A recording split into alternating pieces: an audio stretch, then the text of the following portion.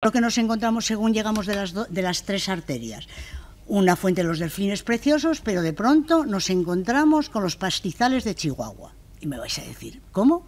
Pues miráis para arriba y realmente es un pastizal, solo está esperando que salgan los perritos de la pradera para que eh, nos hagan compañía.